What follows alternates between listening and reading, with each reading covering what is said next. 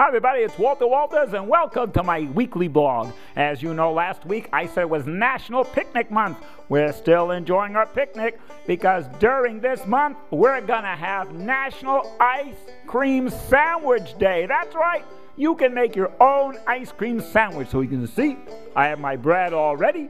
I have the ketchup and mustard, and I'm ready to make the most delicious ice cream sandwich ever. So I encourage you to think of many ways you can do it. What do you say, Herman? What? You think I should what? Tell the audience that maybe they should use cookies in the middle? Cookies with the ice cream in the middle? I don't think it'll ever work, but that's okay. We don't want to offend him. Of course, I know he's an expert on picnics, so maybe he knows what he's talking about. What's Walter Walter saying? Live your dream. And remember, you can do anything you believe you can do, even the speech impediment. So make the best ice cream sandwich ever, and we'll see you on next week's blog. I know cookies. I still think bread would be better. What do you think?